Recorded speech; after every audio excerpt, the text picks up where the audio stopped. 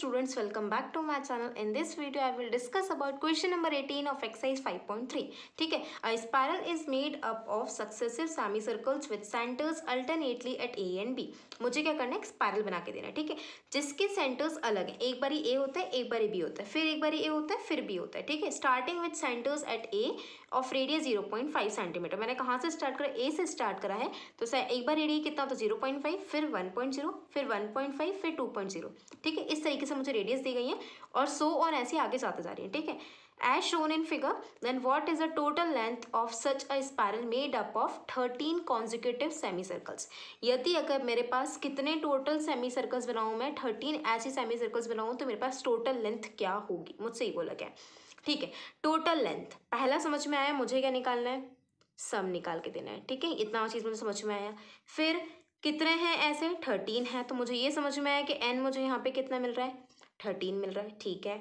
अब इन रेडियस से मुझे सीरीज़ बनती दिख रही है ना, एक बार मेरे पास ये रेडिया है, एक बार ये, एक बार ये अलग अलग अलग रेडिया ही दे रखी है मुझे, ठीक है। तो पहला मैं कितना ले लूँ? ज़ीरो पॉइंट फाइव फिर कितना हो जाएगा? वन पॉइंट ज़ीरो फिर कितना हो जाएगा? वन पॉइंट फाइव फिर कितना हो जाएगा? टू पॉइंट ज़ीरो ऐसे आगे जाता जाएगा। लेकिन अब मुझे क्या निकालना है? Length of such a spiral मुझे निकालना है लेंथ लेंथ का मतलब क्या होता है? सरकमफेरेंस ठीक है? मुझे जैसे पता है लेंथ का मतलब क्या होता है? सरकमफेरेंस ठीक है? हम लगाएँगे सरकमफेरेंस और सर्कल का फॉर्मूला सरकमफेरेंस ऑफ़ सर्कल का फॉर्मूला क्या होता है? टू पाई आर ठीक है? टू पाई आर होता है? ठीक है। मुझे अच्छे से पता चला two pi r semicircle circumference और सर्कल होता है? ठीक है। बट अब जरा डायग्राम पे ध्यान देते हैं। ए से बनाया उसने ए से ज़ीरो पॉइंट फाइव ली तो उसने ये सर्कल बनाया, ठीक है? फिर जब बी रेडियस बी से सेंटर बी को सेंटर माना और इस रेडियस को लिया तो उसने ये सर्कल बनाया सेमी सर्कल बनाया। फिर ए को लिया उसने, फिर ये बनाया, फिर बी को लिया, फिर ये बनाया ऐसे ही मेरे पास आगे सो ऑन जाते जा रहा है, ठीक है? तो कुछ नहीं करना है, मुझे सिर्फ़ क्या निकालना है? लेंथ का निकालना है, वो भी किसका? मुझे सेमी सर्कल्स का। एक बारी इसका, फिर एक बारी इसका, फिर मैं निकालूँगी इसका, फिर मैं निकालूँगी इसका। ठीक है, इस तरीके से आगे जाता जाएगा तो मुझे निकालना पड़ रहा है, लेकिन ये पूरा सर्कल तो कंप्लीट ही नहीं हो रहा है। क्या हो रहा है? सेमी सर्कल हो गया तो मैं फॉर्मूला किसका निकालूँगी? सेमी सर्कल का। ठीक है तो सेमी सर्कल के लिए फॉर्मूला क्या हो जाएगा मेरे पास में? मैं इसे आधा कर दूँगी तो कितना है? टू पाई आर मैंने आधा करके डिवाइड बाई टू कर दूँगी तो कितना बचा? से मेरे पास पाई आर बचा। ठीक है तो इस जो सेम ये जो सेमी सर्कल होगा, जो पहला जिसका रेडियस है ज़ीरो पॉइंट फाइव उससे लिया मैंने एल वन से, फिर लिया एल टू से, फिर एल थ्री से, फिर एल फोर से, ठीक है? तो मैं एक बार सबके लिए निकाल लेती हूँ, पहले मैं एल एल वन के लिए निकालती हूँ, ठीक है? जब मैं एल वन के लिए निकालूँगी तो मेरे पास क्या हो जाएगा? जब मैं एल वन के लिए निकाल रही हूँ तो L one is equals to क्या हो जाएगा? पाई आर हो जाएगा, ठीक है? इसके लिए पाई मैं पाई की जगह पर क्या रहने तो पाई रहने देती हूँ, ठीक है? आर कितना है? स्टार्टिंग वाला कितना था? ज़ीरो पॉइंट फाइव था तो मैंने यहाँ पे कितना रख दिया? ज़ीरो पॉइंट फाइव ठीक है multiply by zero point five या फिर मैं सीधा बोल सकती हूँ ज़ीरो पॉइंट फाइव पाई हो जाएगा। ठीक है, ऐसे मैंने क्या निकाला? एल टू निकाला। एल टू भी क्या हो जाएगा? पाई आर तो उसके लिए क्या हो जाएगा मेरे पास? अब रेडियस कितनी हो जाएगी?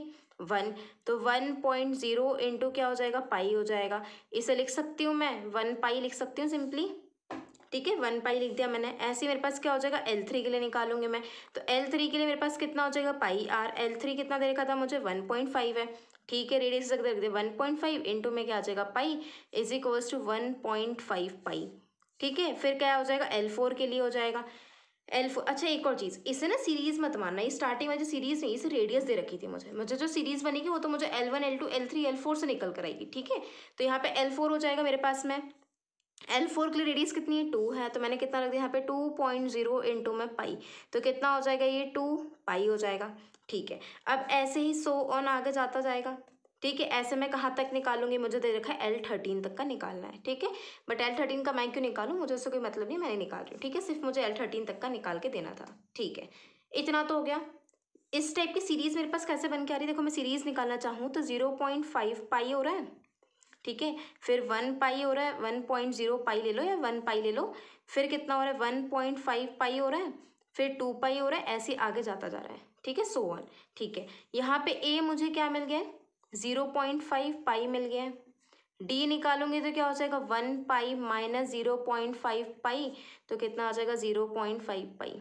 ठीक है? डी कितना आ चुका है? ज़ीरो पॉइंट फाइव पाई आ चुका है। ठीक है? ए आ गया। डी निकाल आ गया मेरे पास में, मैंने निकाल लिया। एन है मेरे पास में।